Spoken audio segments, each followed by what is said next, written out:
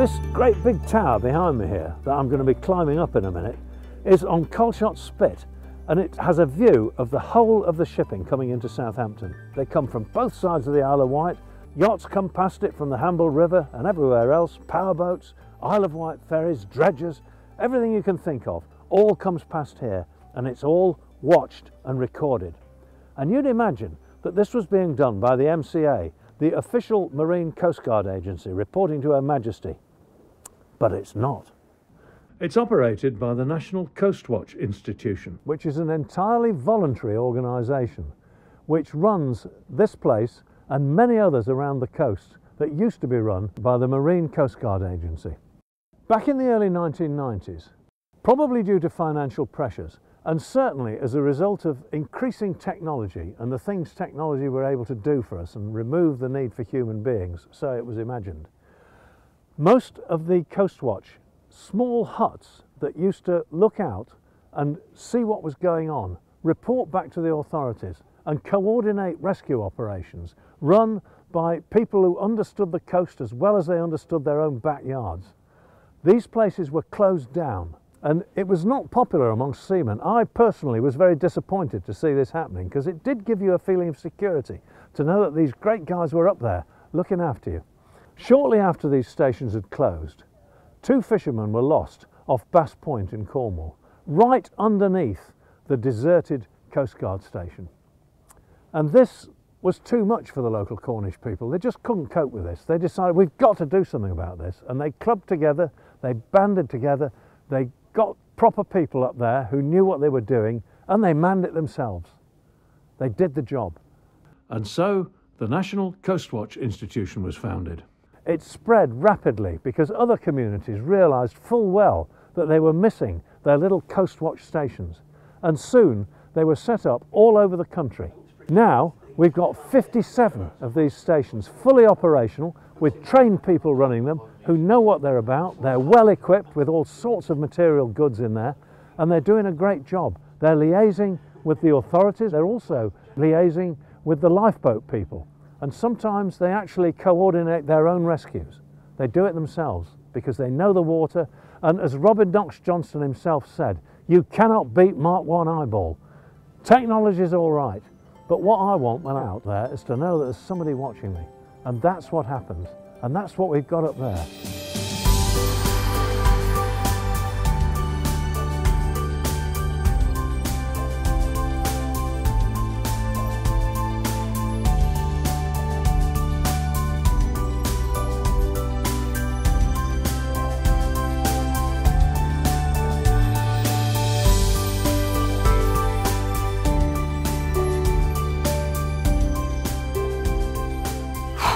Well, I'm up here and it's a long climb. But Roger's here, Roger Taylor, who's the deputy manager of the station. Um, he's going to put us straight. So, Roger, what goes on on a daily basis up here? What's what's going on, these chaps? And Okay, when we first arrive into the station, um, all the radios go on, all the equipment goes on. A very quick check to make sure everything works. Uh, we then uh, contact the Coast Guard after we checked on the weather forecast locally, just around the station. Um, so they then get an idea of what it's actually like here. They then can ask us various questions of what they can see or any information that we need to know of any ongoing incidents, etc. Um, and they will pass that back to us. Uh, we then make a broadcast uh, on channel 65. is that your standing channel? It is indeed. Yeah. It is indeed, yeah. So this is to all the local mariners so we can tell them what the uh, weather conditions are around and about. And if there are any other warnings from the Coast Guard, we will put it over as well. But generally we stick to the weather. We do it locally here, what we can see and what we have here. So, can people call you up for that information? If I was in Hamble wondering whether to go sailing for the day, could I give you a shout and say, what's it actually like up there? Indeed, that happens quite regularly. Um, we've had some days which have been a bit um, bumpy out there, and we've had people contact from the Hamble saying, it's nice and calm in the Hamble, what's it actually like out in the middle of the Solent? So we can give them a rough estimate, the wave heights, wind speeds, and direction of tides. That's fantastically useful today because you know all the weather forecasts. Everyone's gathering all these weather forecasts off the off the internet, and they all say, "Oh, it's going to be 15 knots with gusts of 25 knots." Well, everybody loves 15 knots, but nobody wants 25. so being able to just call you up Yeah. and you can Yes, tell them what it really is. Yes. That is the essence of what we do to, at the start of the day. Yeah, yeah. We have a logbook which we actually we maintain throughout the day, throughout the shifts, what we've done, who we've contacted, when we've started, when we've finished. Any incidents that occur, we log them immediately into the book and we record what happens at the various critical stages. We're talking with the Coast Guard as well and informing them of incidents. So a line is kept open and we're literally giving them a running commentary of any incidents that do occur. Yeah, because I mean, if a big ship gets into difficulties, I can see they're going to probably know all about it. But but if somebody falls off a off a, off a wind kite down there on Calshot Spit, they're not going to have a clue, are they? No. But you are. Not, yeah, yes, we are. Yeah. One of the uh, one of the last ones that we dealt with was a chap hanging on to the reach buoy. Uh, looks a long way away, but he was there with his kite. It was the cold weather. Uh, I think really what had happened, he'd he got cold, and this had taken the strength away from him. He was in the water, couldn't get the kite up, so he was hanging onto this buoy. And every now and again, he was waving if he couldn't, hanging back onto the buoy. So again, that's when we contacted the Coast Guard about. We kept the running commentary going. The Calshot lifeboat crew, excellent guys that they are, went straight out, picked him up, brought him back, and they had to warm him up a bit uh, and get him, get him back to back to the beach across the way. And it all came from you in the first place. That's- That's what it's all about, really, isn't It it? is, It's having eyeballs to see what's happening. So uh, we, we keep a continual watch. We continually sweep across and look Yeah. for anything that looks out of place or a problem.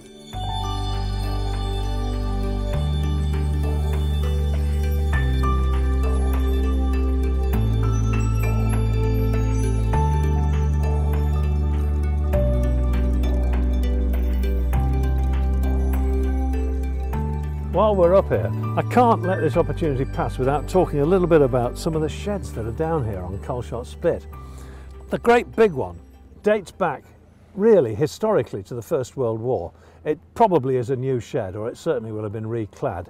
But in World War One, flying boats started to become a proposition, and the Royal Flying Corps, which became the Royal Air Force, used this place to operate them from. And it's absolutely ideal because you've got a great big expanse of water that in any halfway reasonable conditions is going to be flat, which is exactly what they want. You've got enough space to be able to take off into the wind from any position.